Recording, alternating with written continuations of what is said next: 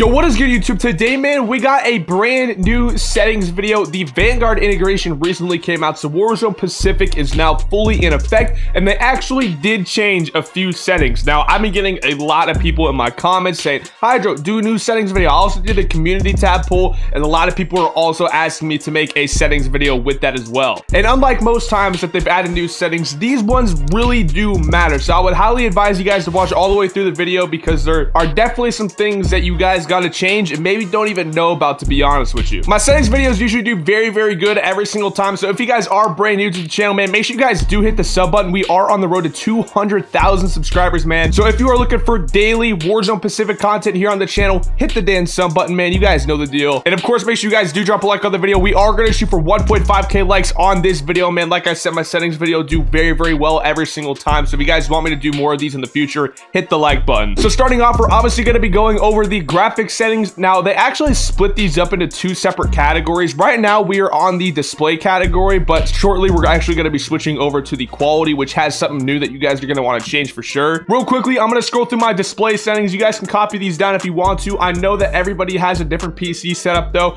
so you guys can really use whatever you want when it comes to your graphics settings. I'm just going to be giving out recommendations because when I did switch to PC, I had a bit of a hard time trying to figure out what was best for me because I had like really bad FPS at the time. So I fine-tuned my settings on my old PC. I did buy a new gaming one, so I just kind of transferred them over and they still work perfectly fine. Not a whole lot of stuff matters on the display settings. Really, most of it comes from quality. Obviously, the first thing right here being FOV. I actually have mine on 120 affected, and FOV is obviously a very hot topic right now. like, console players are pissed because there is not FOV on console. I know there's a lot of you guys probably watching this that are on console, and I am gonna give my opinion on that. What a lot of people don't understand is that the engine that is ran on Modern Warfare and Warzone is different than the one on Vanguard and Cold War. You know, why do you think that there is a FOV slider in Vanguard and Cold War, but there isn't one on Modern Warfare? It's because it's ran on an engine where there's hardware limitations. You know what I mean? I'm sure they're working on it, but even on current gen consoles like the PS5, I still think people underestimate how much FPS you would actually lose by having 120 FOV on, even on current gen like the PS5. Like a lot of modern day GPUs on Warzone can't handle 120 FOV. You know what I mean? Like I know I'm probably gonna start a war between console players and PC players down in the comments. I, I cannot wait to see the comments on this video, bro. Anyways, though, man, one of the new settings that they actually added was camera movement. Now, default, I'm pretty sure it's on, yeah, 100%. So basically what you guys are going to want to do is lower this all the way down to least, which is actually on 50%. And on the right, it says adjust the intensity of camera shake movement. Does not apply to all camera movement. So it does not apply to everything that you do when you're moving, but it applies to most. And pretty much when you're doing like slide cancels, bunny hops, whatever the case may be, it'll actually decrease the shakiness of the camera itself. So definitely something that you guys are to want to actually change. Everything else though here, I'm pretty sure is actually from previously. So you guys can once again copy these down if you do feel like it. Next up, we're to go over the interface tab. I'm pretty sure they actually straight up replaced this with the general tab. Correct me if I'm wrong, but I think that everything is on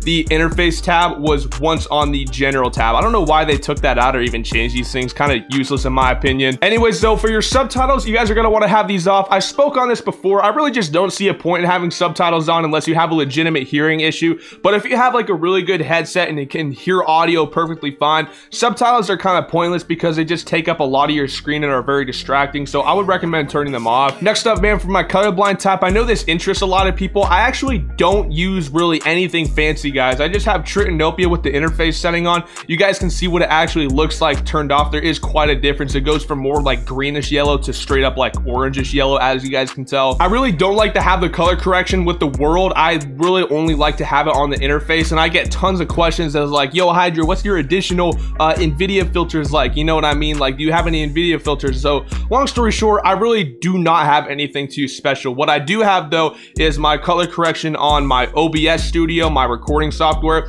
but that is only what you guys see. I actually don't see any of the applied settings on here, but what I do see is my adjusted monitor settings, you know, obviously that being like the exposure, black and whites, color correction, you know, the saturation, stuff like that. So that is what I see. I have a BenQ 165 hertz monitor. It's a pretty good one. Tooltips, I just have to disable have them disabled for like the longest time now. Horizontal and vertical heads up display bounds, I just have them on both 100. Minimap shape, obviously you guys are gonna want to have this on square. You can't really see the difference because of my webcam, but pretty much, uh, it I would say it gives you probably 25% more visibility on the minimap. So it's definitely your best bet to have this on. I really don't even know why they have this as an option. They should just have square and square only. Like definitely have that on enable compass cardinal direction text. I have that on letters. So if you really do want to call out, yo, like he's north, west, southeast, whatever it may be. I do use that sometimes. I'm not even gonna lie when using callouts, but if you do want to actually use that,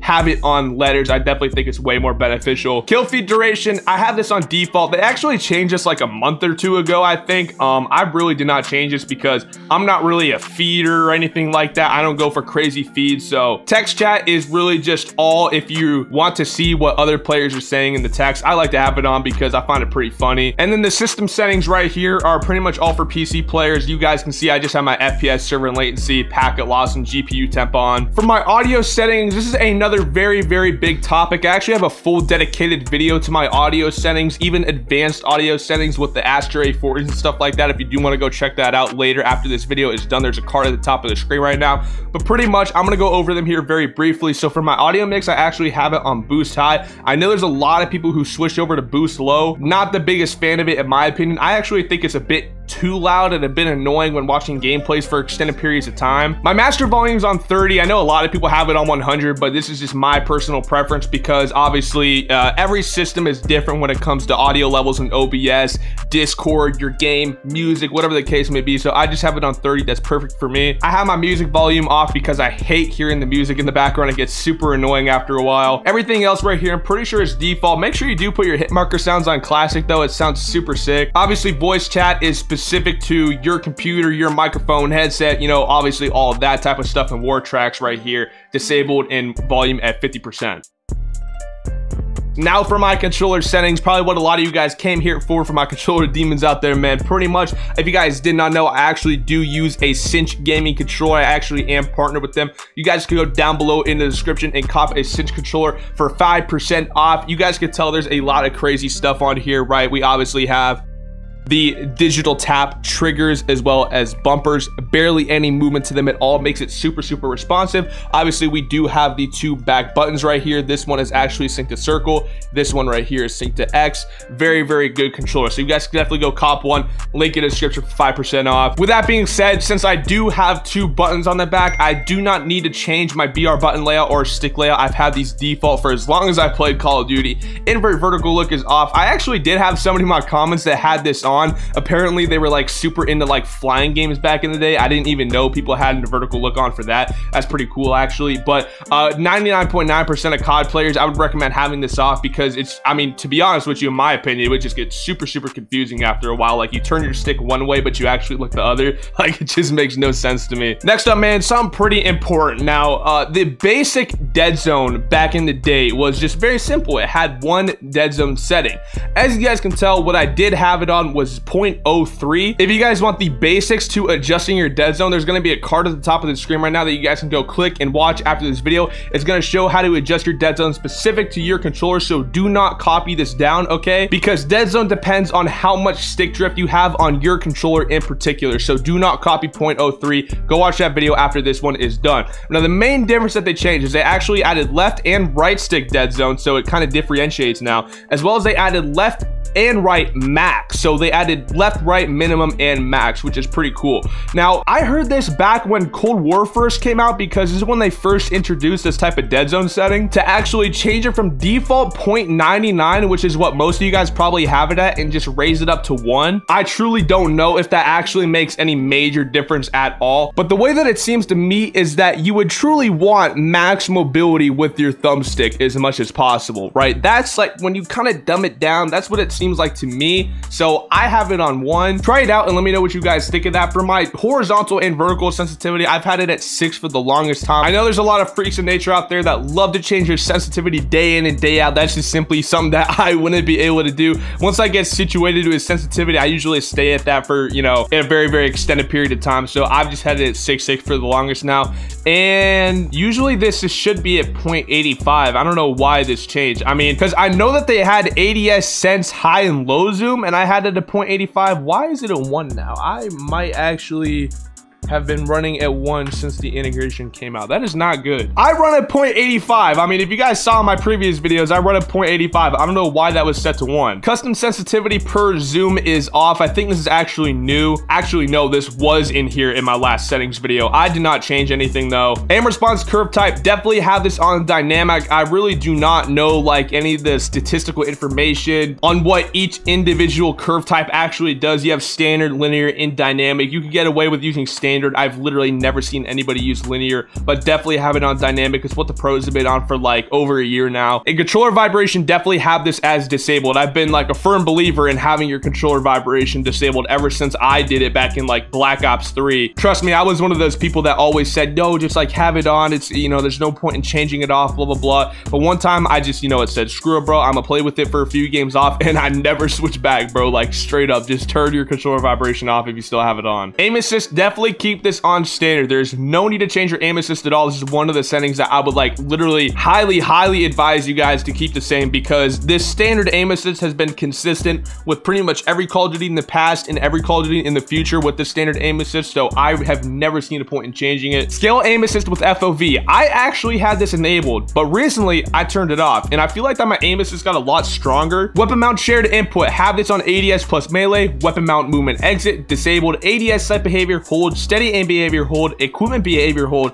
use reload behavior contextual tap. This basically makes it so all you have to do is press the one the button one time instead of holding it to pick up stuff, open doors, get in vehicles, and everything like that. It just makes your gameplay 100 times faster. I have depleted ammo weapon switch on, armor plate behavior, have that on apply all. And then for my movement settings right here, I actually have a full dedicated movement video that you guys can actually click at the top of the screen. But what I want you guys to do is drop a like if you guys do want a brand new movement settings video because I have learned a few new tips and tricks that I definitely want to share with you guys. So let me know by dropping a like if I should make a brand new movement tutorial video. With that being said, the basic settings that you guys are going to want to have on is sight behavior tap, auto move forward disabled, tack sprint, single tap from sprint. I think this is actually default. I know that they added this as a new setting. I don't think this actually matters though because I have automatic tactical sprint on, which is what all you guys should have on. And pretty much what that does is it just makes it so you can just move like this up on your thumbstick and you will automatically go into a tactical sprint. So I don't think that the tactical sprint option matters if you have automatic tack sprint on